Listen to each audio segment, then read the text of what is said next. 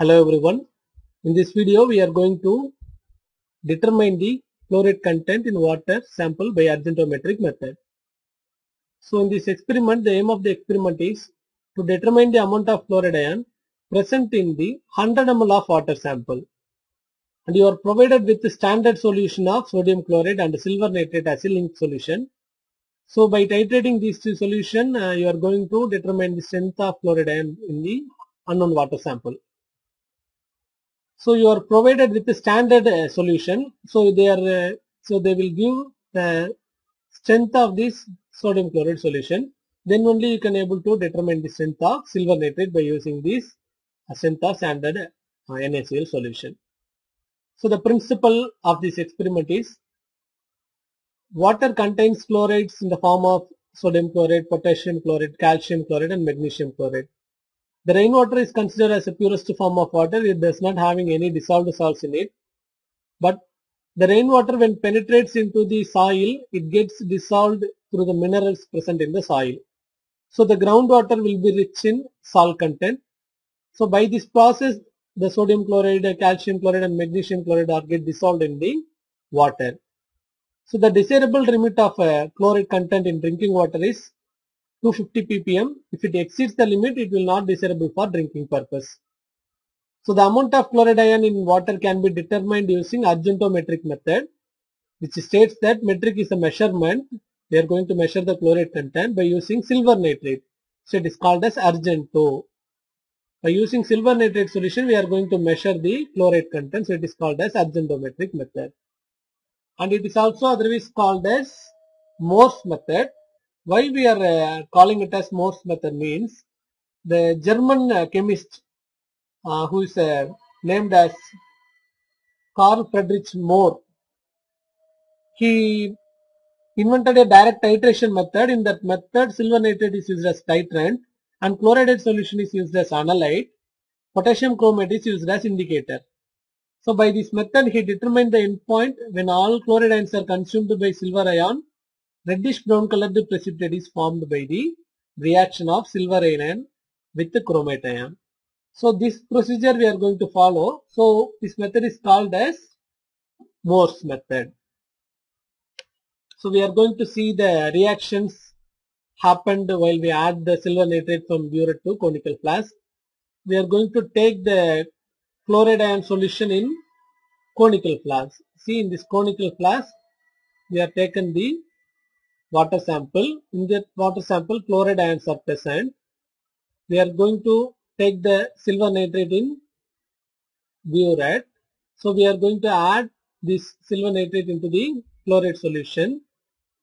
Before that we need to add the indicator potassium chromate in it. So we represented the chromate ion here. Okay. If we add drop by drop of silver nitrate solution, the silver ions from the silver nitrate are going to be added in the water sample. So the chloride ion and the silver forms the silver chloride. So how many ions present in this water? Converted all these all ions are converted into silver chloride. So once all the chloride ions are converted into silver chloride, there is no chlorine to get reacted with the silver. So the further addition of uh, silver nitrate going to be complexed with the chromate ion, which is the indicator chromate ion, which forms silver nitrate. While start of the reaction, if we add indicator into the conical flask, it will become yellow in color. And if we add drop by drop of silver nitrate, it will become a milky white color, which represents the formation of silver chloride. So the milky white color represents the formation of silver chloride. Once if all the chloride ion is uh, uh, converted into silver chloride, further addition of silver nitrate going to be react with the potassium chromate. So the silver and the chromate ion going to be complexed with the formation of silver chromate, which is reddish brown color. Now the solution is turned into milky white to reddish brown, which is the end point of this reaction, which states that there is no chloride ion further to form silver chloride with the silver nitrate ions, silver ions, okay, which represents the end point of the reaction. So this is the principle behind the volumetric titration of this experiment.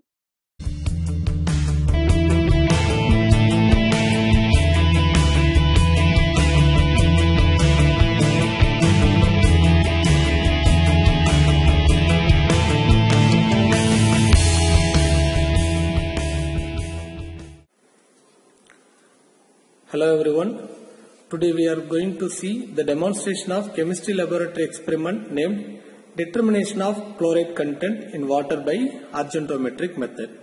It is also called as Mohr's method. This experiment having two titration. The titration 1 states the standardization of silver nitrate solution.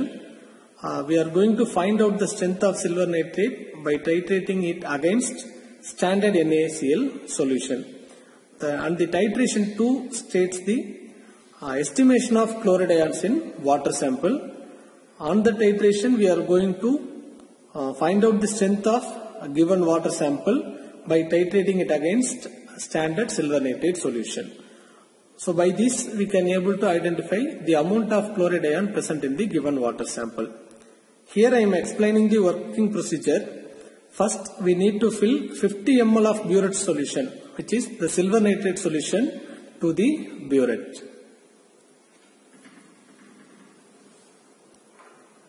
Before filling, the burette must be washed with water and rinsed with small amount of silver nitrate. Then only we have to fill 50 ml of silver nitrate solution. Wash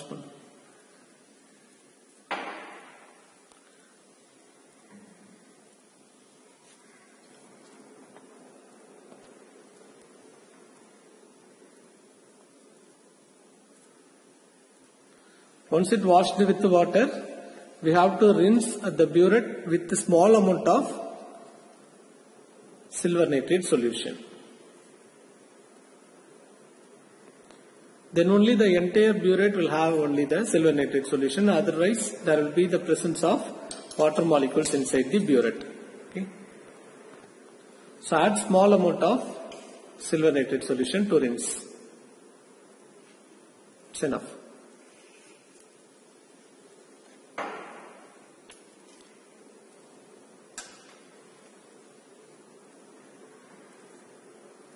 You have to rinse the solution to the entire burette surface inside the burette.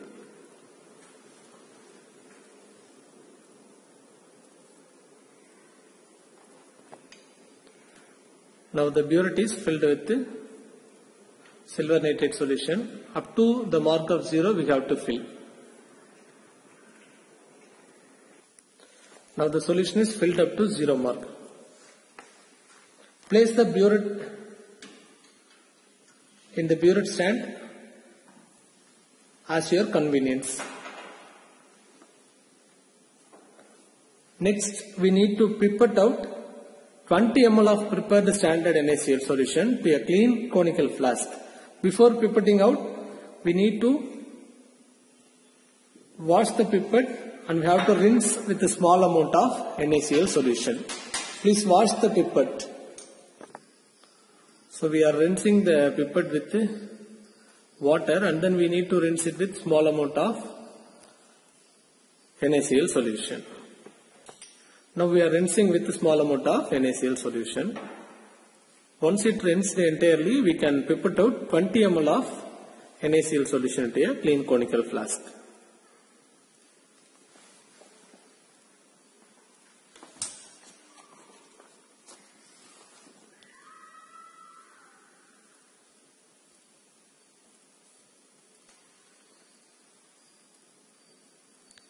We need to measure carefully up to the mark. We have to pipette out. To a clean conical flask.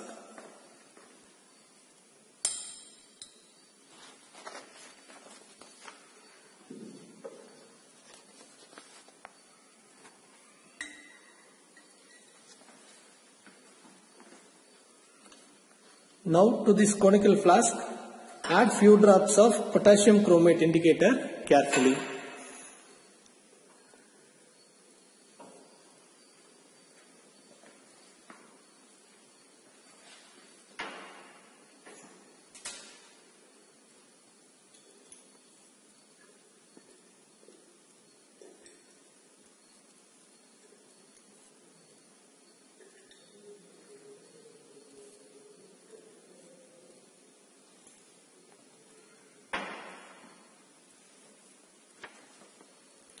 Now the color of the solution in the conical flask becomes yellow.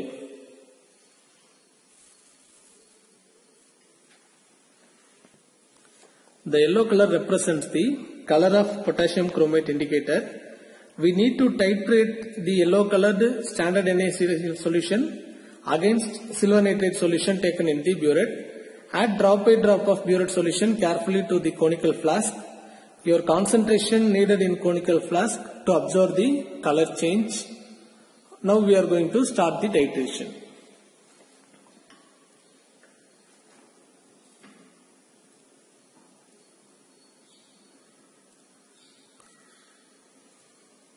So shake the conical flask gently.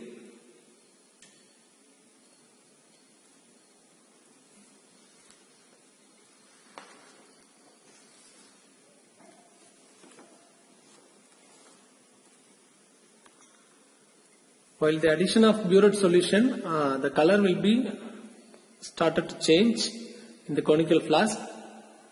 By identifying the exact color change from yellow to reddish brown, we can able to identify the exact endpoint of this titration. Once you attained the exact color change, close the burette solution. Now the color will become uh, whitish, which represents the silver ions present in the burette solution started to react with the chloride ions present in the conical flask, which forms silver chloride and it will becomes white precipitate. Once the entire formation is end, then the addition of each drop of uh, silver nitrate from the burette going to add with the potassium chromate indicator, it directly go to react with potassium chromate which forms silver chromate. The color of the formation of silver chromate is reddish brown so that we can able to identify the entire chloride ion present in the conical flask is reacted with silver nitrate solution.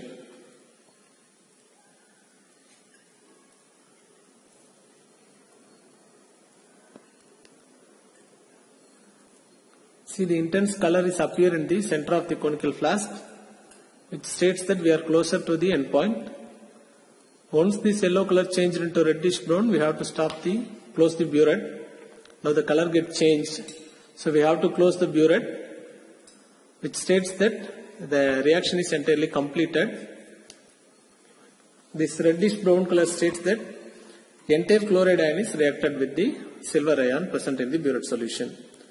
Now take the burette from the stand and note the reading of silver nitrate consumed. From this set point, we can calculate the strength of silver nitrate solution taken in the burette. So the standardization of silver nitrate is completed. By the endpoint, what we obtained in this titration, we can able to calculate the strength of the given silver nitrate link solution. Okay. Next we will proceed our second titration.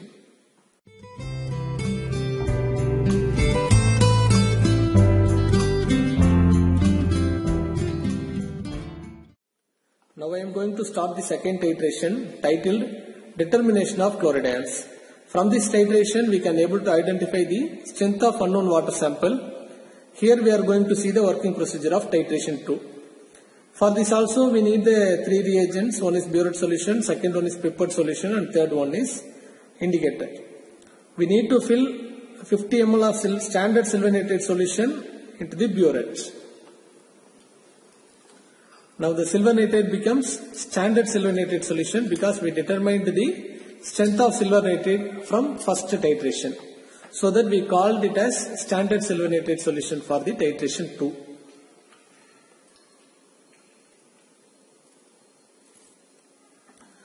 We already rinsed the burette with the silver nitrate solution, so we need uh, we need not to uh, wash again and rinse again. We can refill the burette simply by adding silver nitrate solution.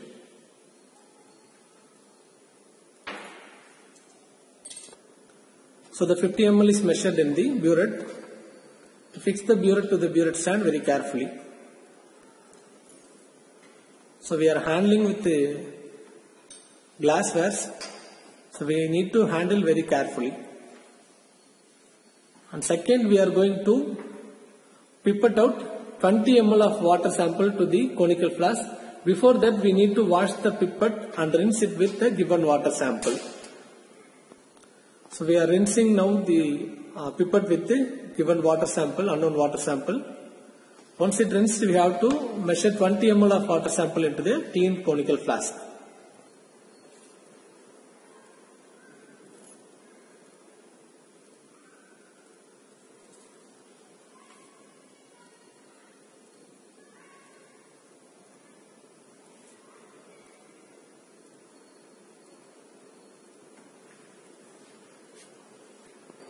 So exactly measure the solution up to the mark given in the pipette. So pipette out the 20 ml into a clean conical flask.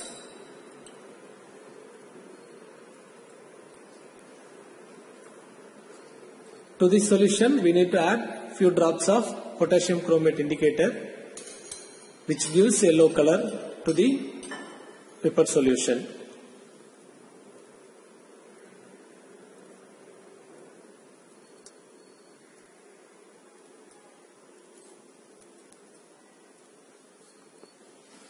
So we need to start the titration. Before that we need to do the careful titration because from this endpoint only we are going to calculate the amount of chloride ion present in the given unknown water sample. So we need to give our fullest attention during the titration and we have to identify the exact endpoint. So we will start the second titration. The endpoint may arise within the short range or within the longer range. So we have to be very careful while titrating.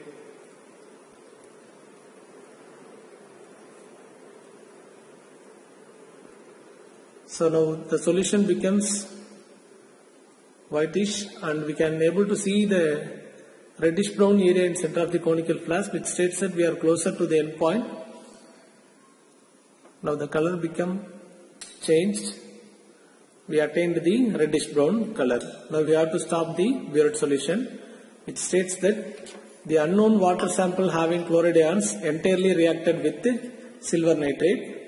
Uh, the silver uh, reacted with the chloride ions, a form silver chloride which is white in color. So the reddish brown states with the absence of the chloride ions, the silver uh, nitrate reacted with the potassium chromate forms silver chromate so the color of the silver chromate is reddish brown and we have to measure the endpoint by taking the burette. From this endpoint only we are going to calculate the amount of chloride ion present in the given unknown water sample. Through the calculation procedure with this endpoint we can able to identify the amount of chloride ions in milligrams per liter or grams per liter. We will see the calculation part separately.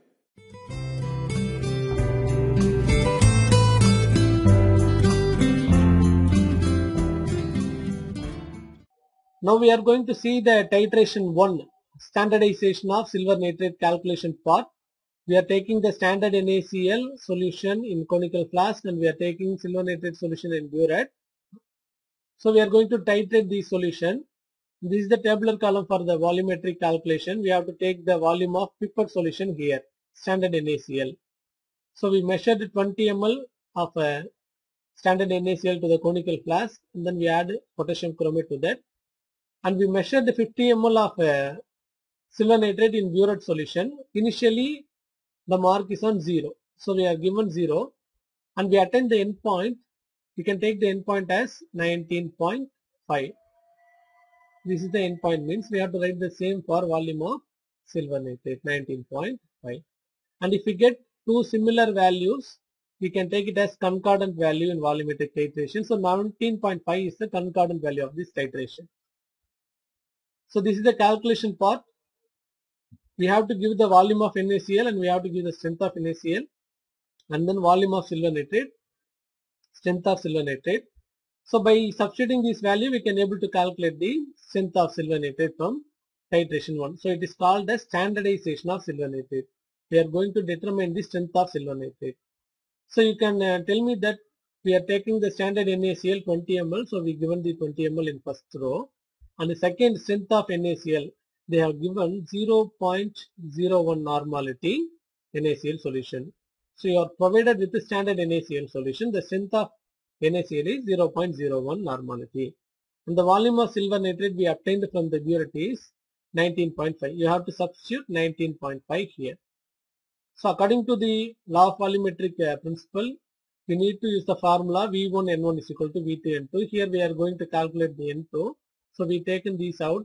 We can uh, write the formula as V1 N1 divided by V2. So V1 is 20 into N1 is 0.01 divided by V2 is 19.5. By calculating this, we can able to identify the strength of silver nitrate solution. So 20 into 0.01 equal to divided by 19.5. I get the value of 0.0102 normality. And I have determined the strength of silver nitrate from the endpoint of burette 19.5. So the strength of the silver nitrate is 0.0102. So hereafter, if you are using the silver nitrate in the same uh, experiment means you have to uh, express it as standard silver nitrate. Why? Because it is now the strength is determined. So we are going to call, uh, call it as standard silver nitrate solution. So the strength of the silver nitrate is determined from titration 1 by using this calculation part. Okay. Now we are going to see the titration 2 calculation part, determination of fluoride in water. So we are taking the standard silver nitrate solution in burette and we are going to titrating it with water sample. And here we are using the indicator potassium chromate. First uh, titration 1 also the same indicator is used. So the volume of water sample we have measured is 20 ml into the conical flask. The prepared solution has to be written first. And then the burette reading we are taking standard silver nitrate. So initially the mark was 0 in Buret. And if you we get the endpoint for titration 2 is 9.5. You can take it as 9.5. The same for concordant value. If you get the two similar value, you can take it as concordant value. So 9.5 is our endpoint. You have to substitute. So the volume of silver nitrate is here. We have mentioned 9.5. You have to write the two. 9.5 ml. And the strength of silver nitrate we calculated in titration 1. We have to substitute here 0.0102 normal solution. And the volume of water sample is 20. We are going to calculate the strength of water sample. And you need to calculate the same as like titration 1. 9.15 into 0.0102 divided by 20. So by this you can able to calculate the strength of water sample 9.5 into 0.0102 divided by 20.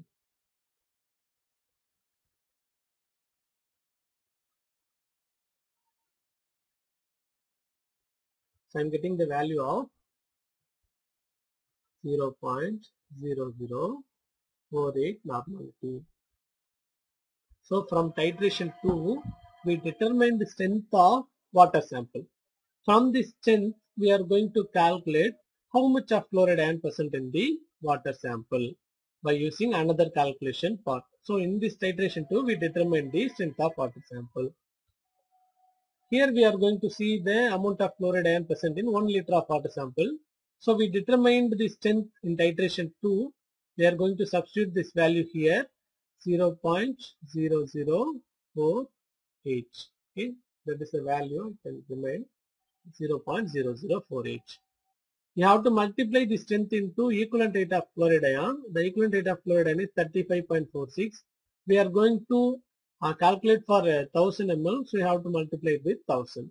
So finally we get the answer in terms of parts per million. So 0.0048 into 35.46 into 1000. We get 170 ppm.